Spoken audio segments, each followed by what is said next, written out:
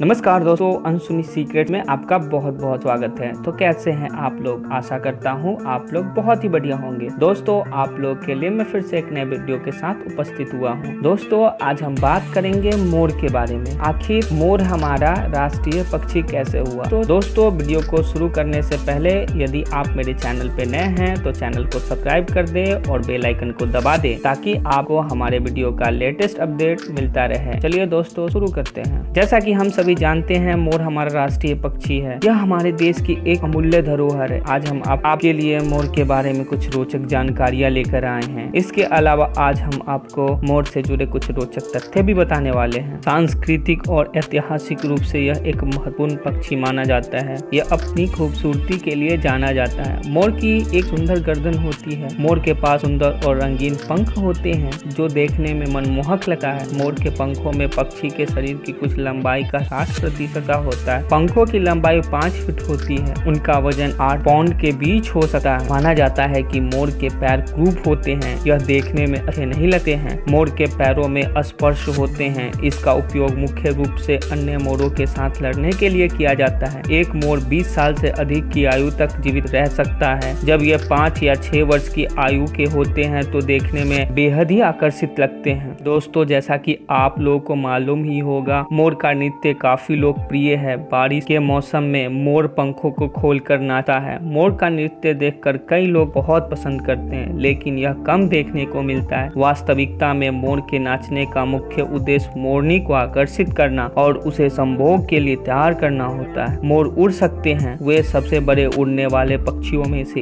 एक हैं। वे अपने विशाल पूछ के बावजूद उड़ सकते हैं। हालाँकि इन पक्षियों को उड़ते हुए देखने के लिए कम ही मिलता है। वे आमतौर पर पक्षियों की तरह उड़ते नहीं हैं। वे केवल तभी उड़ते हैं जब उन्हें कोई खतरा महसूस होता है। उनके मुख्य शिकारी बाघ, तेंदुआ, नेवले आदि हैं। जब उन्हें कोई खतरा महसूस होता है तो वो उड़कर पेड़ों पे छिप जाते हैं। वे खुद को बचाने के लिए पेड़ों पे रात बिताते हैं। तो मोर की कुछ और विशेषताएँ होते हैं जो चलिए मैं आपको बताता हूँ। मोर एक सुंदर पक्षी होने के साथ साथ वो प्रेम का प्रतिनिधित्व करता है। उन्हें भारत के सबसे खूबसूरत पक्षियों में से एक माना जाता है। इनका शरीर विभिन्न रंगों से भरा होता है। इनके गर्दन और सिर पर एक शिखा होता है। इनके पास मनमोहक पंख और पूछ होते हैं। ये नीले, लाल, हरा, बैंगनी रंग के भी होते हैं। पंखों की खूबसूरती के कारण मोर के पंखों का उपयोग सजावट के लिए भी किया जाता है। दोस्तों, सुनहरे और मनमोहक पंख सिर्फ़ न मोर में पाया जाता है। मादा मोर में खूबसूरत पंख और खूबसूरत गर्दन नहीं होते हैं। दोस्तों, मोर का धार्मिक, सांस्कृतिक जो ऐतिहासिक महत्व है। मोर लंबे समय से भारतीय सांस्कृतिक और समाज का हिस्सा रहे हैं। मोर का प्राचीन भारतीय कला और वास्तुकला में एक अद्वितीय स्थान है। भारतीय परंपराओं में इसका धार्मिक और पौराणिक महत्व है। भगवान श्री कृष्ण उनके सिर के ऊपर मोर के खूबसूरत पंख को लगाए रखते हैं। मोर देवी लक्ष्मी और देवी सरस्वती के साथ भी जुड़े हुए हैं। तो मैं आपको बता दूँ, भारतीय पुराणों में मोर से जुड़ी कई कहानियों को मौजूद है। हिंदू धर्म में मोर का इंद्रदेव की छवि के रूप में चित्रित किया गया है। मोर का ऐतिहासिक महत्व भी देखने को मिलता है। मुगल काल की कई चित्रों में मोर का चित्रण किया गया है। प्रसिद्ध मुगल बादशाह शाहजहां का सिंहासन एक मोर के आकार में बनाया गया था, जिसे मयूर सिंहासन भी कहा जाता है। दोस्तों, जैसा आपको पता होगा, मोर को राष्ट्रीय पक्षी का, मोर को राष्ट्रीय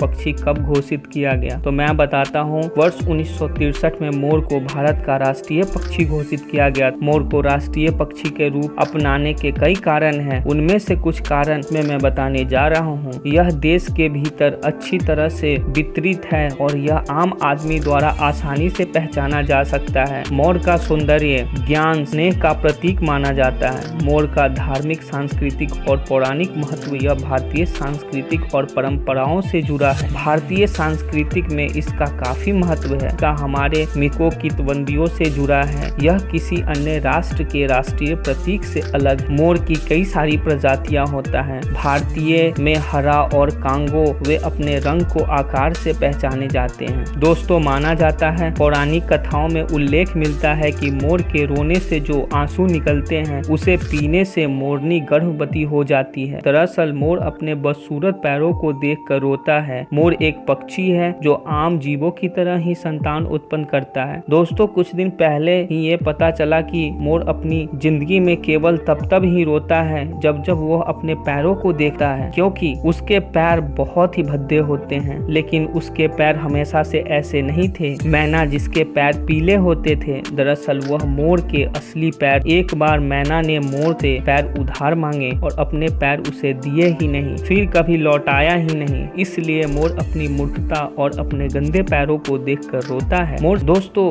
ये कहानी आपको बेहद ही पसंद आई होगी। दोस्तों, वीडियो अच्छा लगा है तो लाइक करे, शेयर करे, सब्सक्राइब करना ना भूलें। दोस्तों, आपको किस तरीके का वीडियो चाहिए, आपको किस प्रकार का वीडियो चाहिए, हमारे कमेंट बॉक्स में कमेंट करें ताकि हम आपके लिए नया नया वीडियो लेकर आते रहें। दोस्तों, आशा करता हूँ वीडियो आपको बेहद ही पसंद आई होगी तो चैनल को लाइक